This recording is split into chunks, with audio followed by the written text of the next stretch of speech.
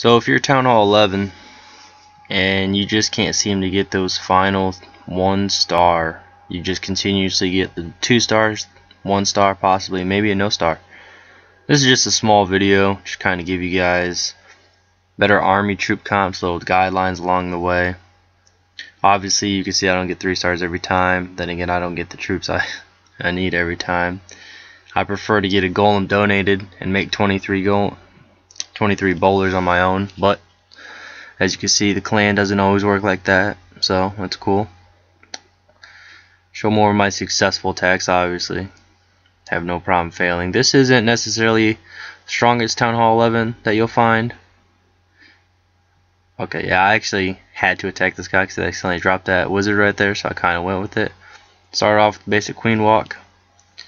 Basic keys for queen walk is you do not want an air sweeper anywhere near. There's one. Where's the other guy? And there's the other. Which these two at all, they're not going to affect my queen walk. So that's another positive. Another thing about queen walk, you don't want three defenses within the same vicinity.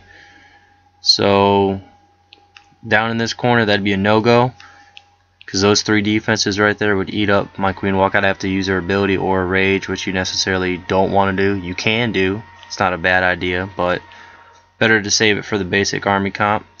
Here I start my bowlers on this side just for a basic funnel. Kind of open up that top side, drop my troops down. The whole thing is you want to take out the eagle, art eagle artillery first. Move your troops in there. Easy freeze on those infernos. Easy funnel right there. Nice base setup. Queen's going to continue to walk. Everyone else is going to come in the inside though. You can see that. Obviously your Town Hall 11 you have the Eternal Tomb. I didn't need it right there because it was a little in front. Once you see that Inferno activating, activate the Eternal Tomb. These bowlers are monsters. That is not what you want to see when you have bowlers though. And unfortunately my poison did not do much to them but the healers actually kept them alive long enough and enough bowlers went to the outside to where it worked. Plus like I said this isn't the strongest Town Hall 11 this is mainly Town Hall 9 honestly Town Hall 9 defenses which is kind of a shame but as you can see I didn't take out the CC which is a huge thing. Really big deal take out the enemy CC but thankfully I had my queen's ability I mean, I knew I was going to get it regardless, but those CC could have really caused a problem. So King Eric, not very kingish. I'll show you my 100% on defense too. I think it's it's been a while, but here we have Indramax. Here you can see it's pretty good. This is actually a pretty good Town Hall 11. Really close to maxing out. Obviously has a Archer Tower working uh, Eagle Artillery Inferno is all maxed out. He's got his X-Bows set to lower, so that'll interrupt the Queen Walk automatically. Yeah, just pretty much that Archer Tower is the only thing holding him back from being max. Obviously, besides walls. It's this Heroes Queen's building, which is a big plus. Start on that top center. I knew right away, seeing how that last video, or that last battle, I knew, I said they, you don't want to use the queen walk with three defenses. That's a lot of defense right there. I knew going into this battle that I was going to have to use the queen walk, but I actually wanted to walk down this left side so I can get to that Inferno Tower and that Eagle Artillery quicker. So here I'm actually willing to use a Rage for that specific purpose. Plus it'll take out a lot of defenses, not really a big deal. Queen does her work. I start the funnel down there. It's always nice if you can angle those bowlers to take out multiple points, which they usually do, that arch tower actually would have been taken out a lot quicker. But here, got the funnel down. There's nowhere for those bowlers to walk but in. Thankfully, no CC troops either. As you can see, the Eternal Tomb you want to keep in your back pocket in case there's a big gap for the bowlers. That was just a bad placement. But if there is a big gap for the Big bombs, big bombs, and bowlers do not get along. Those big bombs will destroy bowlers. I always keep four wizards and one minion. More for necessarily helping with the funnel or a cleanup. As you can see, look at those bowlers. Just doing work. Well, there's the air sweeper. I told you he's a problem, mainly for a queen walk. If he's in the center, sometimes they actually do good by knocking the healers out of damage contention. But as you can see, we'll speed this up a little bit. King's ability, he's going to take out all those defenses. He's rage for 10 seconds. He took out four defenses in his rage, so that always helps, not including a Mac. My queen still has her ability. She's going to do what she wants. She always does. But, hey, you know, she's got to have backup. There he is. Alright, for some reason, these Grand Warden defenses are super strong. Do not underestimate them. So I did not want to take that chance because when they hit you, they hit hard. The thing is, their DPS is a little bit less than a max wizard. But he doesn't attack every second. He attacks about every two seconds. So you actually have to times his power by about two. As you can see, this is my basic army comp. I didn't have any CC troops to use. No one donated to me, unfortunately. But I like to use 18 bowlers, one golem, six archers, disregard, six healers, usually four for the queen walk and then two for bowlers, but sometimes I do uh, two bowlers in the corner, two bowlers in the corner, and then use my army uh, comp there in the middle, and then two healers on each side, so two on the bowlers, two on the bowlers, and then on the comp. Alright. That was the other. Let's see, King Eric, he went down. As you can see, this is a pretty solid Town Hall 11. Obviously, he's got some he's got some work to do on those Archer towers. He's a little behind the update, but he's getting there. Max Heroes, you know, lucky for him. I don't have Max Grand Warden yet. I've been playing this game for three and a half years though, and I actually just got my King and Queen up in the last six months from level 25 to max and I want to do videos on how I did that to kind of give you guys a dark elixir a little inside scoop but I necessarily don't want to drop trophies right now. So I have my buddy Woolite. I actually showed him it he's Town Hall 10 mid 20s heroes he wants to get them up because obviously they make the big difference and he's using that. So I'll have him share a couple videos and I'll post them up let you guys see them that bomb right there, obviously, like I said, those big bombs will destroy the bowlers. Thankfully, there was only a couple in that vicinity. Alright, big man's going down. That single Inferno Tower will take him out. But as soon as you see that Inferno Tower locked on the King, and you don't think he's gonna, they're gonna take out that defense, you might as well rage him, get the most out of his ability. Alright, here I was lucky enough, obviously, to have a Golem in the CC. When you have a Golem in the CC in your Town Hall 11, you have 23 bowlers.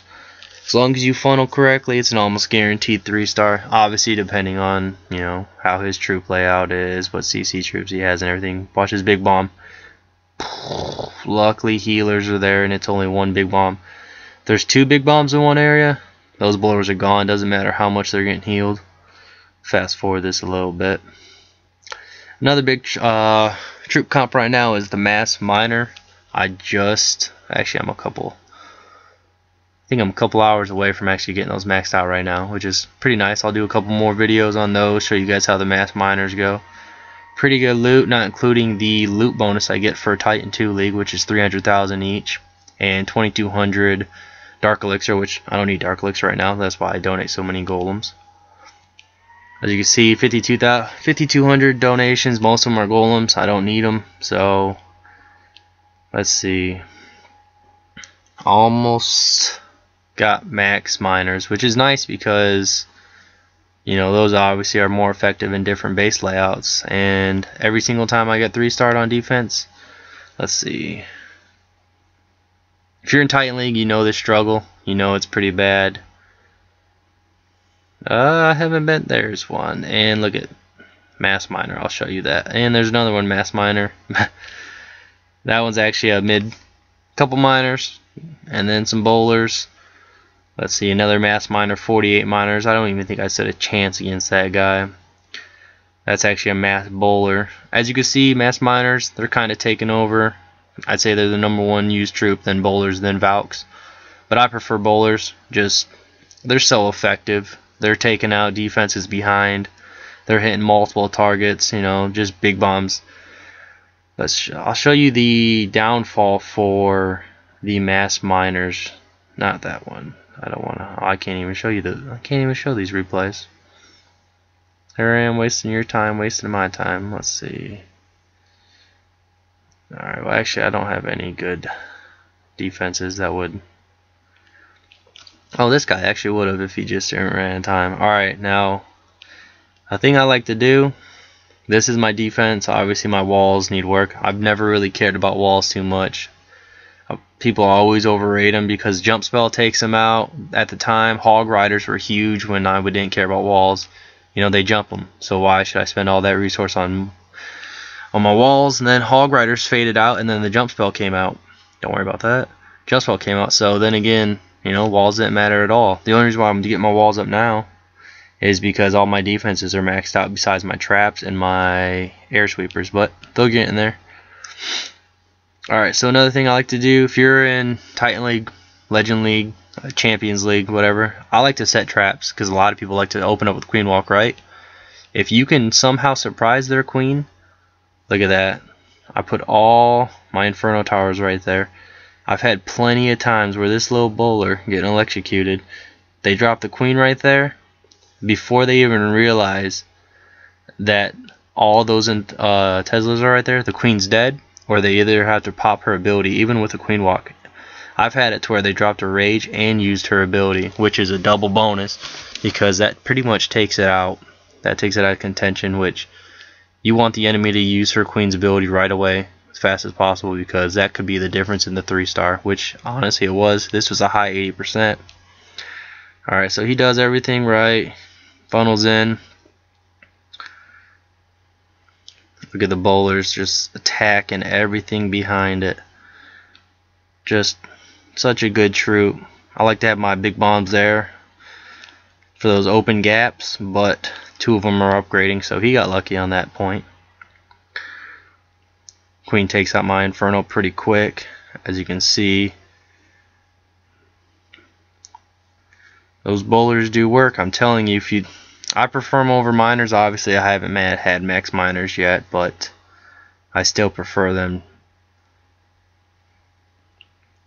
Like I said, where he's slack, that could be the difference. I haven't been three star that much, as you can tell. I mean, I know it looks bad, but if you're in Titan League or Legends League or Champions League even, you know how it is, how hard it is for a defensive win. So I used to get three-starred quite a bit, and it was actually really frustrating, annoying, but I decided to lay out that trap, and that trap has been the difference so far. We'll speed this up. Pretty sure it goes down to his Grand Warden. Right now he's just picking off useless buildings, getting up that extra percentage. Once you get over 70% with the two-star, you get 100% of your league loot, your league loot bonus. So he didn't really care. Dropped it. He knew he was getting his bonus. Got some pretty good loot from me. Not including that dark, which I really don't care about, but it's a pretty good attack on him. Alright. This was my first YouTube video, so I'm gonna I kind of wanted to do this because there's no good Clash of Clan YouTube video makers out there. I used to follow Clash with Ash, uh, General Tony. General Tony still does some good videos. I like him. I do follow Robert the guy who always opens up with hi everybody. He's a super good attacker. He always pushes to number one. I'm almost two Titan or Legends League. Obviously, I'm a 500 away, but I just started pushing trophies less than a month ago. I was at 1500 because obviously I just maxed out my heroes. So, alright, like I said, is my first video. If you like, subscribe, drop a like button, drop some comments on what you want to see. I have a war that I'm going to show in my next video. Show you the ward we just won. It's for, it'll show you Town Hall 11 attacks that we did successful on my end.